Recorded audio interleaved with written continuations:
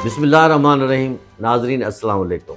आपका मेज़बान असदुल्ला भट्टी एक नए वीलाग के साथ हाज़िर है। जैसे मैं पहले आपसे गुजारिश करता हूँ कि हमारे इस चैनल को, मीडिया फोकस चैनल को सब्सक्राइब करें।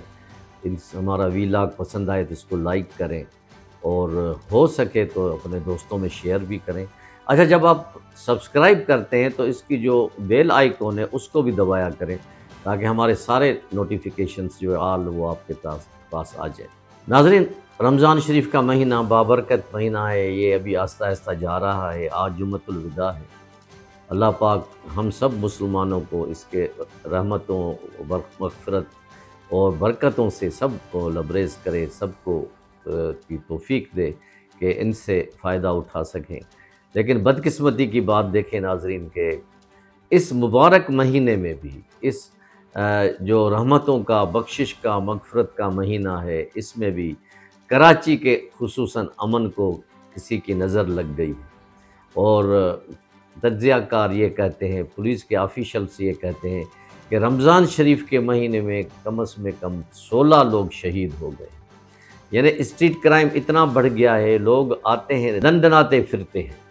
और दिन के टाइम पे भी कोई घर के सामने खड़ा हुआ है, कोई शॉपिंग करके दुकान से निकल रहा है, कोई कहीं से गुज़र रहा है तो बस उनको, आप, आजकल तो ये हो गया है कि उनको डायरेक्ट सीने में गोलियाँ मारते हैं कि अगर कोई रिजिस्ट करता है, कोई देता है। कई नौजवान हमारे शहीद हो गए हैं, कई ज़ख्मी हो गए हैं, कई ख़वातीन कई बच्चे।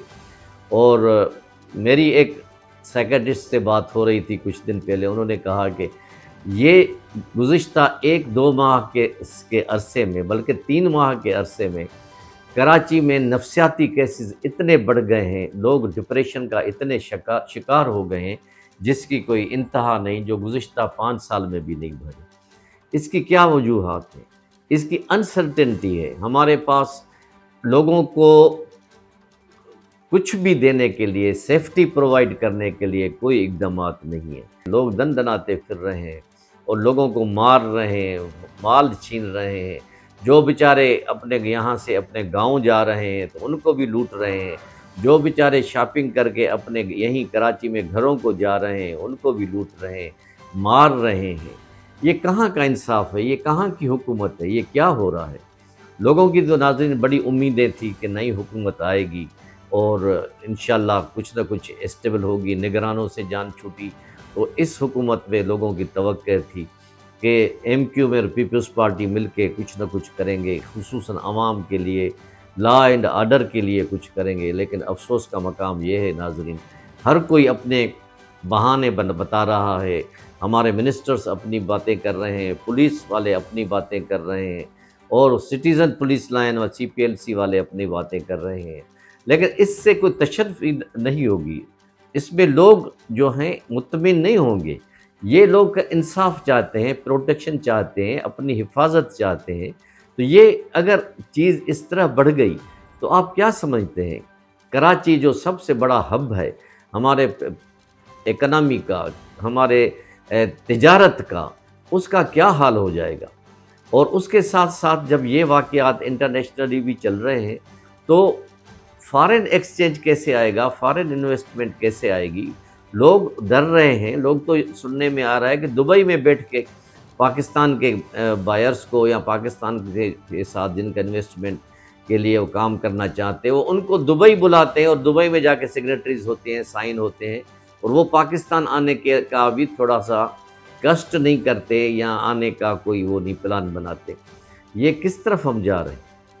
खसूस सिंध की बदकिस्मती है नाजरीन, कि शहरों में तो ये हालत हो रही है कि गरीबों को मारा जा रहा है, लौटा जा रहा है। उसमें बच्चे भी हैं, ख़वातीन भी हैं, नौजवान भी हैं, बूढ़े भी हैं। और दूसरी बात यह है कि अंदरून सिंध में, अंदरून सिंध लफ्ज़ इस्तेमाल कर रहा हूँ। ख़ास करके जो कश्मोर और इधर घुटकी की तरफ़ जो ये हालत मची हुई है यहाँ सुपर हाईवे पे जो हालत मची हुई है, वो भी किसी से ढकी छुपी नहीं है। लोग परेशान है, बेबस हैं। लोगों ने तो कल यहाँ कराची में जमाली पुल के नज़दीक एक बड़ा धरना दिया जो कराची और हैदराबाद के रोड को बंद कर दिया। बड़ी ट्रैफ़िक के कि हमें पुलिस पे अतमाद नहीं है हमें रेंजर्स दिया जाए रेंजर्स के, जो है लोग यहाँ पेट्रोलिंग करें ये करें इससे क्या साबित होता है? नाजरन मैं ये नहीं कहता हूँ कि सिंध गवर्नमेंट पूरी के पूरी नाकाम हो गई है या सिंध गवर्नमेंट में कोई अच्छे आदमी नहीं है। हमारा वज़ीर अला सैयद मुराद अली शाह एक एनर्जेटिक बंदा है उसने पहले भी काम किया है ये तीसरा टर्न है उनका। उसके साथ साथ उनके कई वज़ीर जो हैं वो भी आ, काम करना चाहते हैं वो भी काम कर रहे हैं। जिसमें सईद गनी का नाम शामिल है नासिर शाह साहब हैं शर्जील है ताज हैदर साहब हैं ये एक ऐसी उनकी टीम है। अगर वो अपने डेडिकेशन के साथ वो अपनी टीम लेके उनको काम करें तो मैं नहीं समझता कि सिंध में अमन कायम न हो सके। ज़रूरत इस बात की है कि पुलिस से और इंतज़ामिया से और जो भी बड़े बड़े इदारे हैं, ख़ास करके जो लॉ एंड आर्डर सिंध को जो देख रहे हैं, उनसे काली भेड़ियों को निकालना है खसूस पुलिस के लोगों से निकालना है।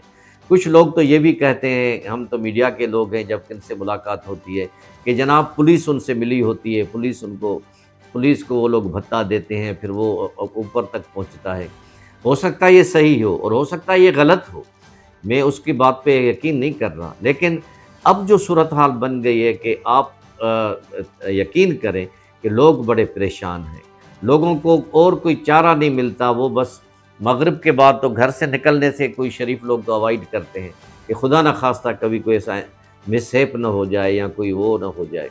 और वो किसी को देखते भी नहीं है डाकू। स्ट्रीट क्राइम इतना बढ़ गया है कि वो वो यानी जंगल का कानून मैं कहूँगा कि वो जंगल का कानून बन गया। खुदारा कराची पे रहम करे, सिंध पे रहम, पूरे सिंध पे रहम करे। अगर ये चीज़ मज़ीद चली खुदा न खास्ता तो वो फिर हालात किसी के काबू में नहीं होंगे। तो मैं दर्दमंदाना अपील, हायर अथॉरिटी से करूँगा कि कराची को यतीम न समझें। कराची के हर कम्युनिटी के लोग रहते हैं, उर्दू स्पीकिंग भी रहते हैं, सिंधी स्पीकिंग भी रहते हैं, पंजाबी भी रहते हैं, पश्तून भी रहते हैं।